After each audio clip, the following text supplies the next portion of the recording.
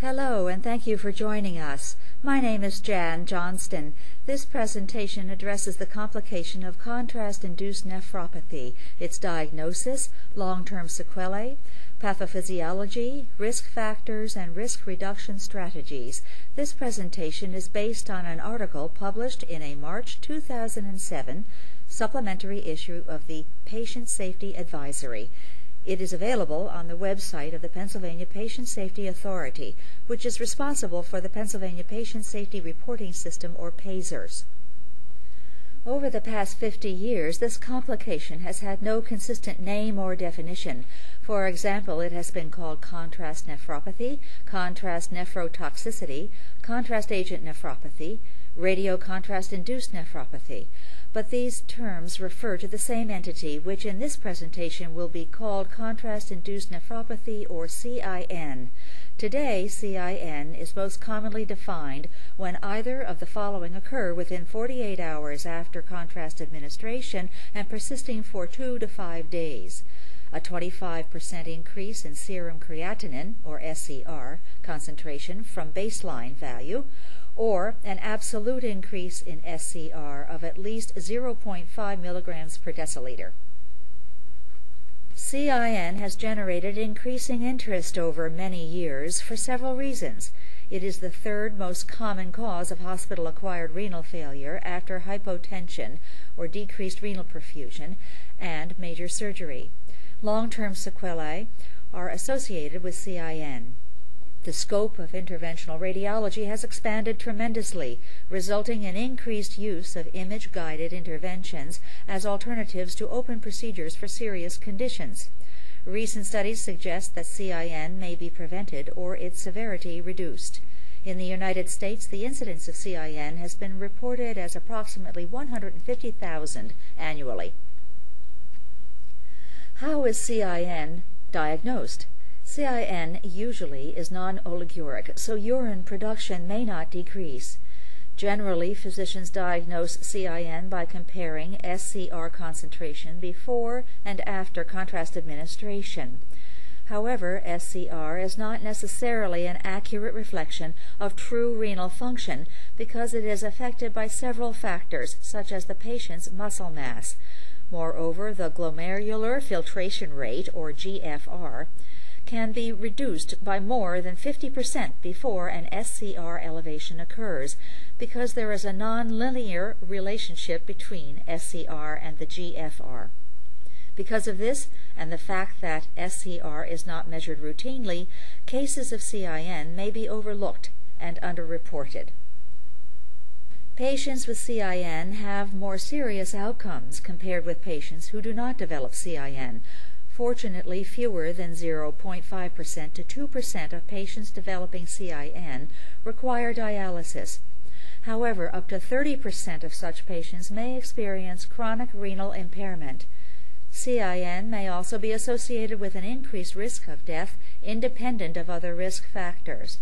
The average hospital length of stay for patients developing CIN can be prolonged from two days to more than three weeks, increasing medical costs. The pathophysiology of CIN is complex and not fully understood. A variety of factors may act together to promote acute renal failure. Initially, the injection of iodinated contrast media increases osmotic load, which produces vasodilation.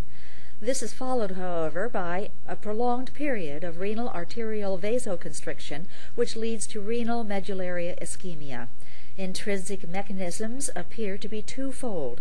Contrast media produces changes in renal hemodynamics, as well as direct renal tubular toxicity. In healthy patients with normal kidney function, the structural and functional changes produced by contrast media are usually of no consequence. However, patients with the following risk factors may develop CIN in response to intravascular administration of contrast media. Pre-existing impairment of renal function is the most powerful predictor of CIN. Patients with both renal impairment and either type 1 or type 2 diabetes mellitus are at higher risk for CIN than patients who have pre-existing renal impairment alone.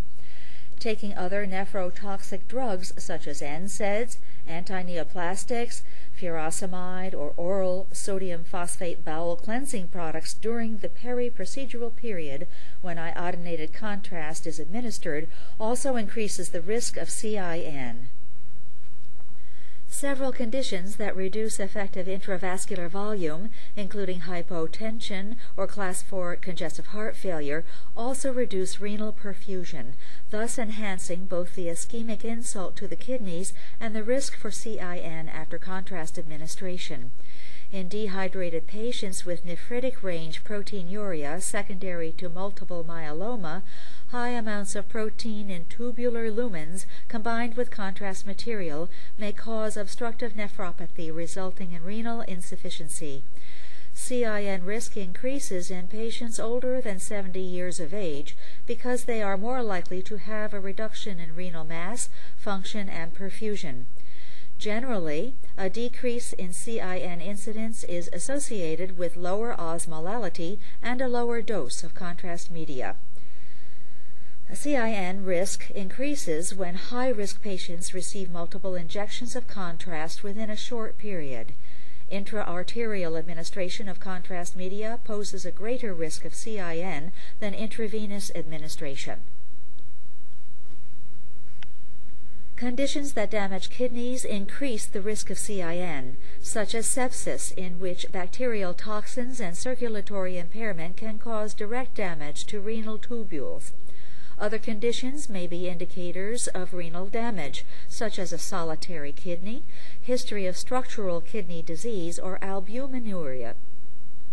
Coronary angiography followed by bypass graft intervention and percutaneous coronary interventions have been associated with CIN, but they are most likely reflections of contrast load and the underlying medical conditions for these procedures the incidence of CIN and the need for dialysis is greater when multiple risk factors are present.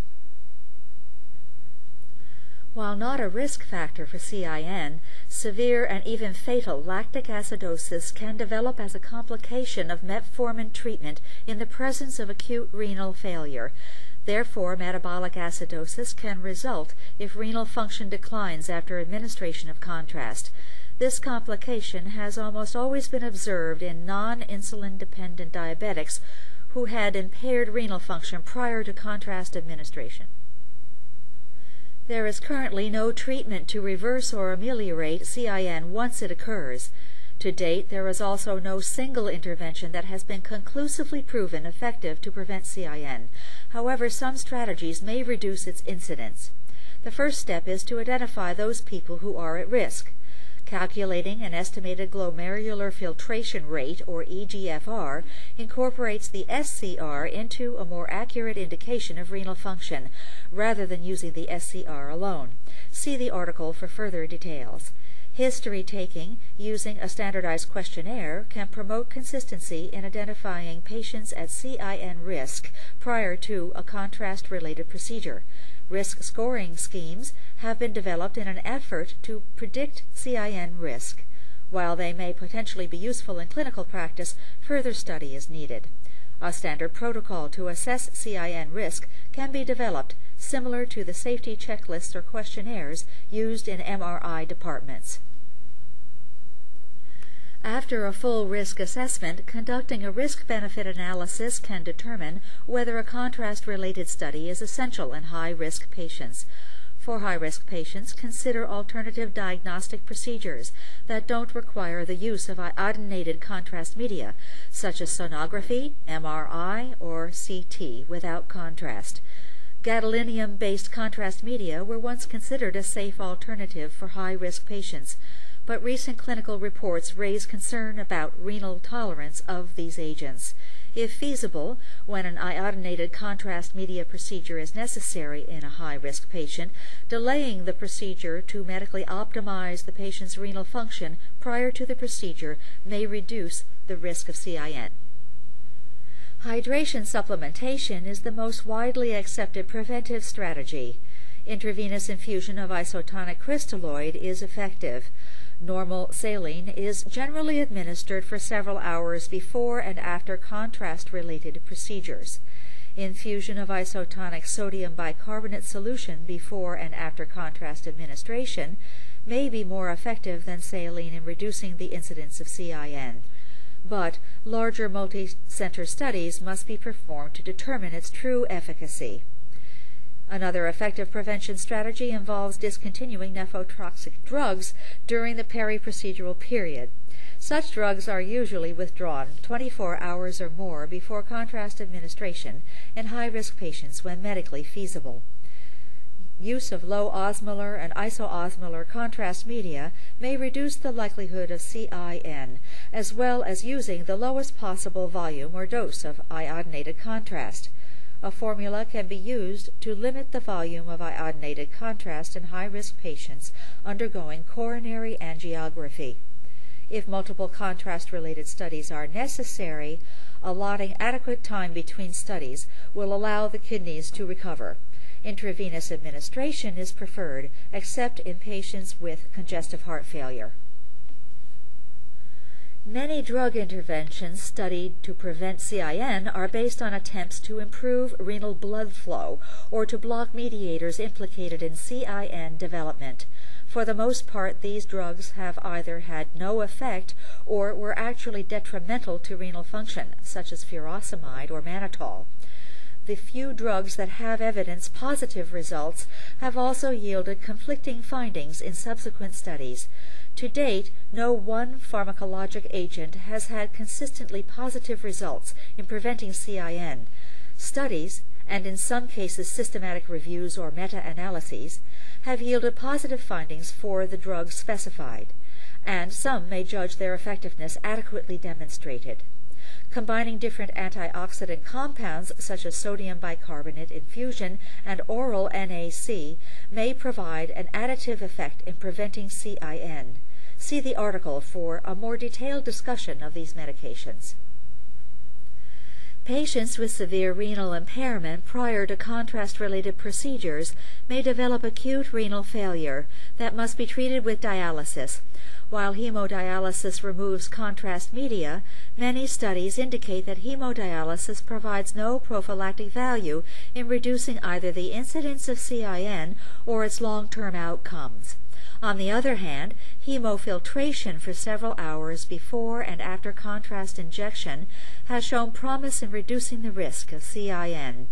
It is reserved for patients with severe cardiac and renal dysfunction if the baseline SCR is greater than 4 milligrams per deciliter. Hemofiltration is further described in the article. In patients with normal baseline renal function, metformin-containing drugs can be discontinued the day of the study. In patients with abnormal baseline function, such drugs are stopped prior to the study. In all cases, the drug may be restarted no earlier than 48 hours after contrast administration, once the patient's renal function has returned to baseline. Following the contrast-related procedure, physicians evaluate the renal function in high-risk patients for diuresis and compare an SCR 24 to 48 hours after contrast exposure with the baseline level obtained before volume expansion prior to contrast administration. If CIN occurs, daily SCR levels are performed until renal function returns to baseline levels. While the SCR is elevated, avoid further insults to the kidneys, such as additional contrast studies or drugs that alter GFR, such as ACE inhibitors or diuretics, if medically feasible. Institutions can benefit from developing pathways or algorithms to identify patients with risk factors for CIN and standardize prophylactic approaches to contrast-related procedures for high-risk patients.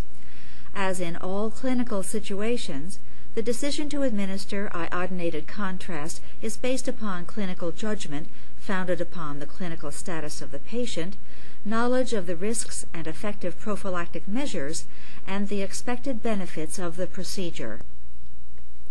Thank you for joining us for this presentation. We hope you'll find this information useful in your own facility. This presentation was developed as part of the Pennsylvania Patient Safety Reporting System. To learn more about PA-PSRS and to find more information on this and other topics, visit the Patient Safety Authority website at www.psa.state.pa.us.